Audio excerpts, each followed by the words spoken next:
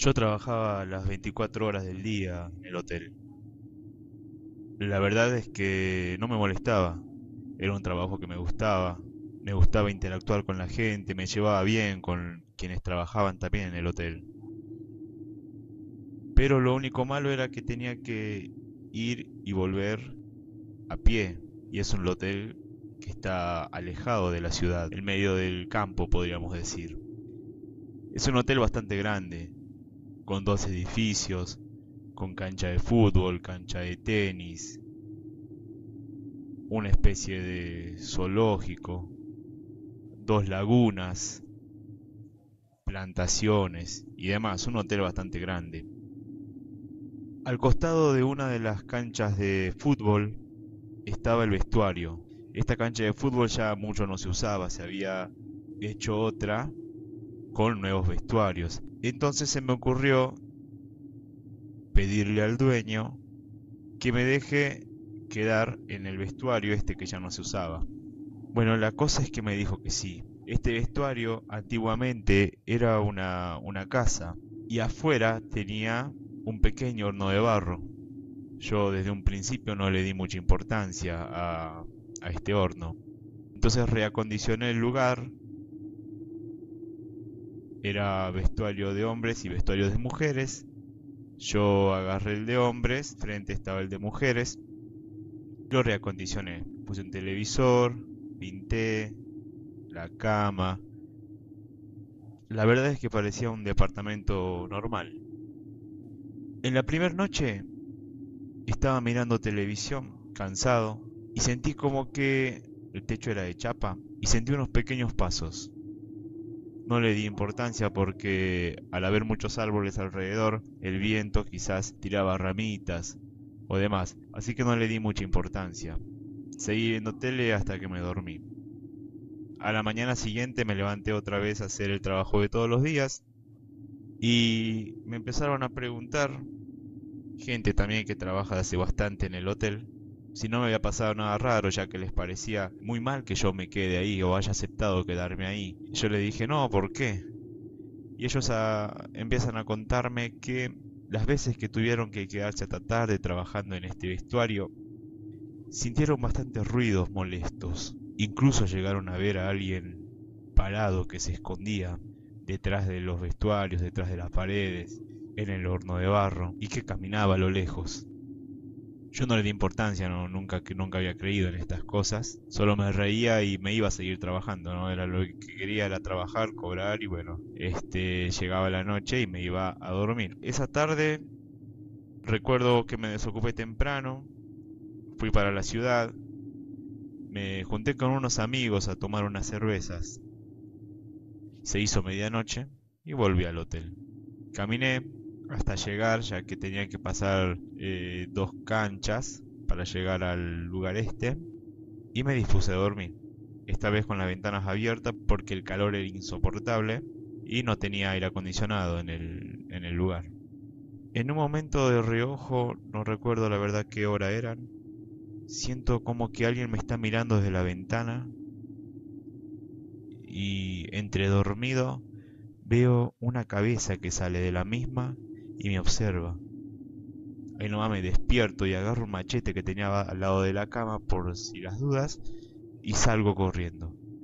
En el momento que salgo, pensando que era alguien que me quería robar, o algún huésped perdido quizás, no había nadie. Doy dos o tres vueltas por, por los vestuarios, voy a dar una vuelta por las canchas y por la laguna que está cerca, no había nadie. Volviendo, me puse a pensar en lo que me habían contado. Yo seguía sin creer, pero bueno, me daba algo que pensar lo que había pasado. Intento dormir otra vez y al ratito tocan la puerta del vestuario. Ahí me asusté un poco. No sabía quién era. Miré el reloj, eran como las 4 de la mañana y alguien me estaba tocando la puerta. Pregunté de adentro quién era. Intenté mirar por la ventana a ver si había alguna linterna, pensando que era alguien del hotel que venía a buscarme, que se había roto algo, necesitaban algo. Salgo y no había nadie. Era como tocaron y se fueron. La puerta del vestuario de las mujeres estaba abierta. Entonces pensé es alguien haciéndome asustar y se metió porque esa puerta estaba siempre cerrada. Agarré el machete otra vez y me metí. Ese vestuario no tiene luz. Me metí y busqué por las duchas y no había nada. Con la linterna alumbré por todos lados en cada rincón del vestuario de mujeres y no había nada. Me doy por vencido y digo, bueno, me voy a dormir, ya está. No pasa nada, será común. Tendré que bancarme estos ruidos, estos sonidos. Entonces saliendo del vestuario, al costado tenía el horno de barro, un par de árboles, y pasando un caminito, un pequeño camino, la laguna. Cuando salgo del vestuario, empiezo a alumbrar por el lugar con la linterna Paso, alumbro el horno de barro, lo paso hacia mitad del camino y de reojo veo que alguien se para en el horno de barro. En ese momento vuelvo a alumbrar y hay una persona parada mirándome al costado del horno de barro. Yo me quedé prácticamente mudo. La linterna cayó, el machete cayó, yo no sabía qué hacer, qué decir, ni nada a los 15 o 20 segundos esta sombra desapareció.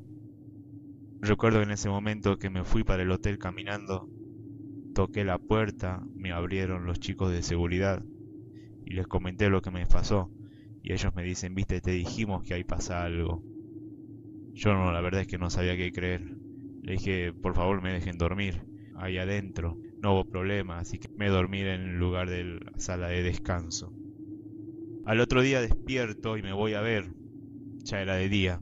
Voy a ver qué había pasado. Cuando llego la puerta estaba abierta, la ventana estaba abierta, adentro no había nada. La puerta del vestuario de mujeres estaba cerrada con llave. En el horno tampoco había nada. La verdad es que todo era tranquilo. Todo era como suele estar en, las mañanas. Solo la puerta y la ventana de mi habitación que las había dejado abiertas. Bueno, pasó el día trabajando y yo pensando en eso. La verdad es que no sabía si quedarme una noche más o irme.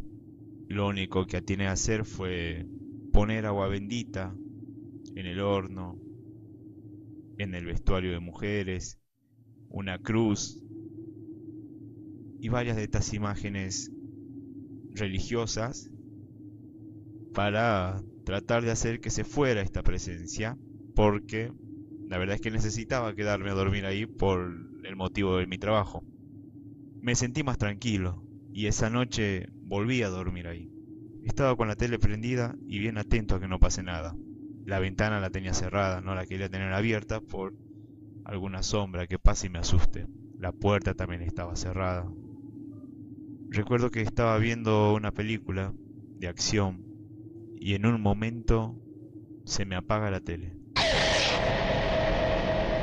Bueno, normal, digo, en una tele vieja, era una tele antigua. La vuelvo a prender y cuando, lo la, y cuando la prendo, volviendo a la cama, se vuelve a apagar. Y digo, no, otra vez. Algo está pasando otra vez. En ese momento siento un fuerte pisotón en el techo. Me asusto. Agarro el machete otra vez y salgo. Salgo a ver qué había en el techo. No había nada no era nada. Cuando veo para atrás del vestuario, veo una cosa negra que se esconde. Empiezo a perseguirla. Corro, corro, no veo nada. Veo que se esconde, veo que saca la cara por atrás de una de las paredes y me mira. Y vuelve a desaparecer. Empiezo a correr nuevamente a buscar esta sombra. Sigo sin encontrarla. Estoy por atrás de los vestuarios. Y cuando llego a donde está el horno de barro, Veo a esa cosa parada arriba del horno de barro. Tenía una especie de alas y unos ojos bien rojos que me miraban.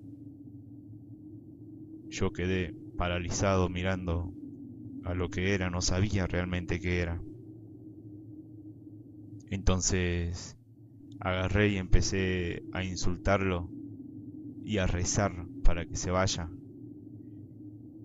Cuando me estoy acercando más y más y más, Siento que empiezan a tirarme piedra de los costados y esta sombra empieza a reírse. Miro hacia los costados y no había nada. Entre los yuyos salían piedras que me estaban tirando. Yo agarré y me fui directamente corriendo hasta el hotel a buscar a los de seguridad para que vengan a, a intentar saber conmigo, a ver qué era. Les conté que me estaban tirando piedras y que había algo. Cuando llegamos no había nada. Lo único que había dentro de mi pieza era la cama prendida a fuego, la tele prendida a fuego, las paredes todas salpicadas con pintura no sabemos de dónde. Entonces dije, no, ya me voy. Es mi última noche acá. Tendré que venir caminando todos los días, pero yo me voy. Cuando estamos saliendo, miro al árbol que estaba al lado del horno de barro. Miro para arriba y veo a la misma sombra trepada en la última rama. Me miraba, se reía, desplegó unas alas y se fue volando. Nunca supe qué era. Pregunté, pero nadie sabe qué es tampoco. No sé si mi presencia le habrá molestado o algo. Pero a ese lugar no volví nunca más, ni siquiera de día.